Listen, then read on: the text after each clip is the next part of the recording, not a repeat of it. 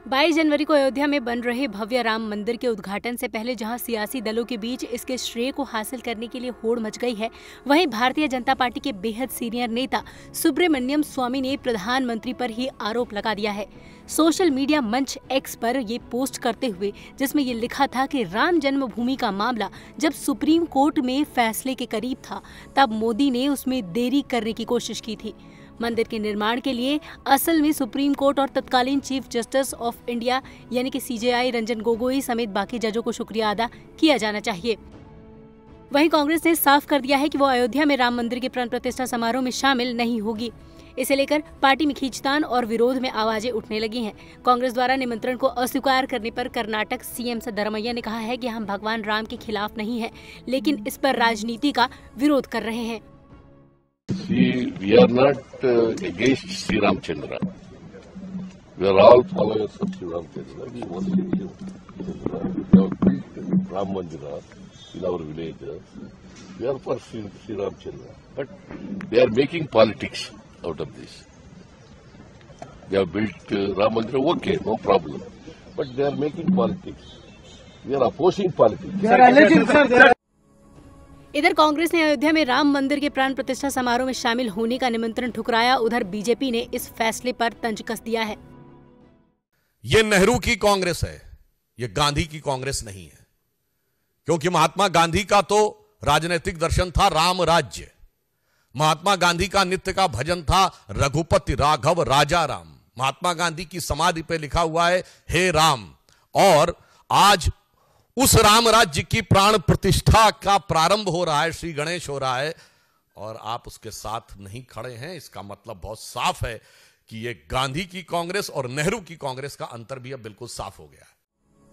वहीं बाबरी मस्जिद के पक्षकार इकबाल अंसारी ने इस मामले पर कहा कि ये धार्मिक मामला है।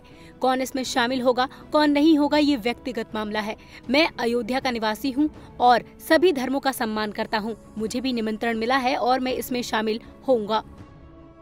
अयोध्या राम मंदिर निर्माण समिति के अध्यक्ष नृपेंद्र मिश्रा और विश्व हिंदू परिषद के अंतर्राष्ट्रीय कार्यकारी अध्यक्ष आलोक कुमार ने आज राष्ट्रीय स्वयं सेवक संघ प्रमुख मोहन भागवत को राम मंदिर प्राण प्रतिष्ठा समारोह का निमंत्रण दिया।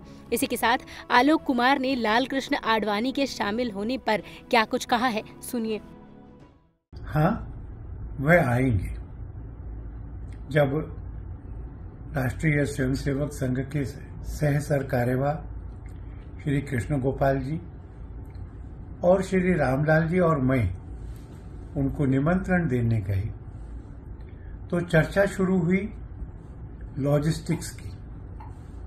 उनको जाना है तो क्या क्या व्यवस्था चाहिए? राम मंदिर के उद्घाटन की तैयारियाँ हर दिन जोरों शोरों से चल रही है।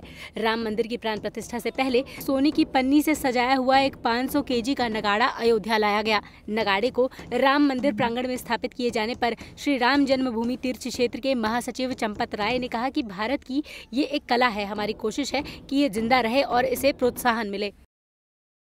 इस समाज की पुरानी परंपरा यही नगाड़े बनाने की है। कुछ समय पहले ये लोग आए थे सब। हाँ। तब इन्होंने कहा था हम ये देना चाहते हैं। मैंने सोचा था कि भाई आजकल इसको कौन उपयोग करता है? आजकल तो सब मैकेनाइज्ड हो गया उसमें अपने आप बचता रहता है। रहता है। इलेक्ट्रॉनिक्स हो गया है सब। हाँ सब हमारे पास भी है छोटा सा। हाँ। तो भी ये एक भारत की कला है। वो जिंदी रहे इनको प्रोत्साहन मिले। दरअसल 22 जनवरी को राम मंदिर की प्राण प्रतिष्ठा का कार्यक्रम है। रामलला के मंदिर के उद्घाटन से पहले ही उनकी नगरी में श्रद्धालुओं की भीड़ लगने वाली है।